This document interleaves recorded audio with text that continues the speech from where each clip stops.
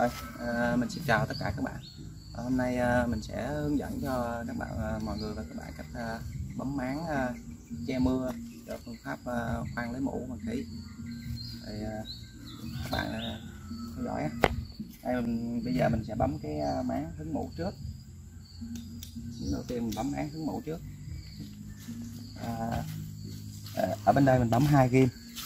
Bắt đầu mình hơi kéo nhẹ qua cho nó căng nó miết vào thân cây á rồi bên đây mình bấm hai cái bên đây. Mình xếp mép này lên bấm đây. Xếp mép này bên đây lên và mình bấm này. Đó là thành một cái máng hứng mũ. Đó, mình bấm cái này là cái à, bước đầu tiên là mình bấm cái máng hứng mũ. Thì à, sang à, từ mình đo khoảng cách đó, từ cái chén mình lên tới cái kiềng ở trên đây. Khi cái máng hứng cái máng tre của mình ở trên đây mình có sử dụng một cái kiềng để đỡ cái máng hoặc là sử dụng một cái cái tó để chống cái máng lên thì đây hiện tại mình sử dụng cái kèn đỡ thì nó hiệu quả hơn và nó cũng tiện hơn là cái tó.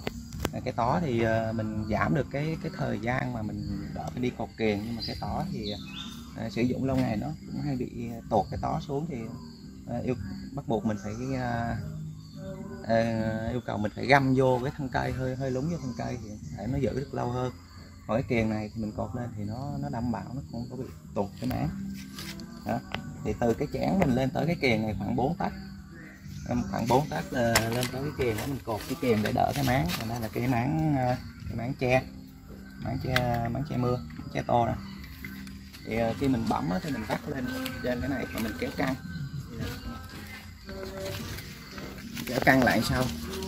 Đó, mình kéo căng lại sau thì nó có một cái đường cái có một cái độ dốc ở đây. Có một cái độ dốc ở đây để cho mưa nó tuột đi nè. Mình kéo lại đây mà mình sử dụng cái kim bấm là mình sử dụng cái kim bấm kim bấm gỗ á. mình ra ngoài cái tiệm điện nước mình mua ở ngoài đó nó có.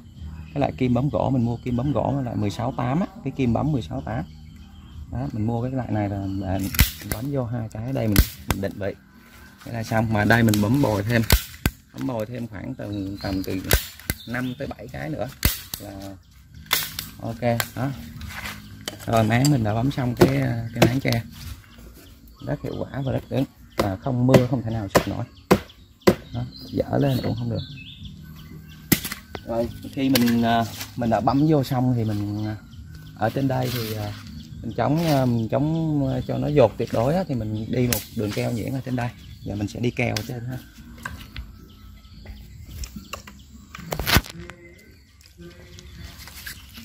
Đây mình đi keo mình bắt từ bên đây qua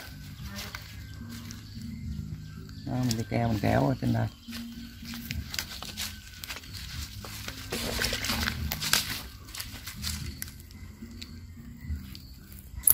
Đó rồi vậy là hoàn thiện một cái ờ, cái máng tre. Rồi ok. Đó vậy là đã hoàn thiện một cái máng che che ờ, mưa cho phương pháp ờ, khoan lấy mũ.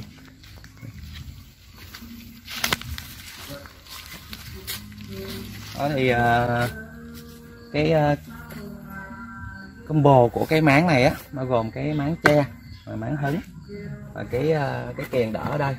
Thì bây giờ mình sử dụng cái tó với cái kèn thì hai cái nó cũng giá nó cũng tương đương với nhau là khoảng 400 đồng một cái.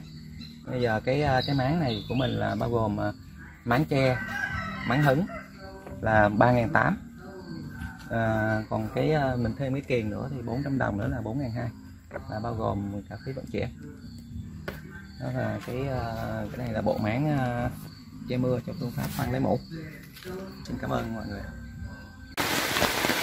rồi xin chào tất cả mọi người nha.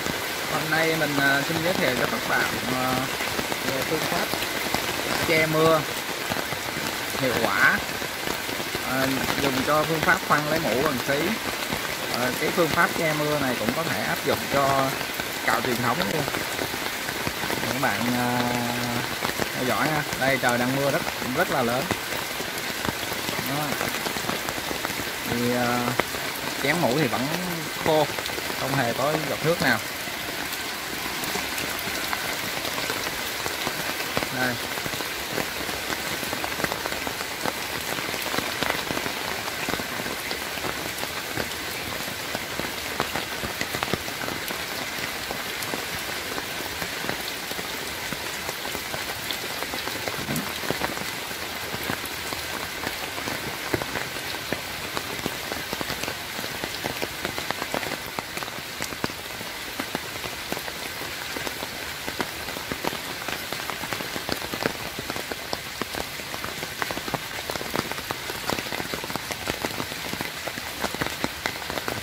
Pháp che mưa này khá là ổn định và hiệu quả.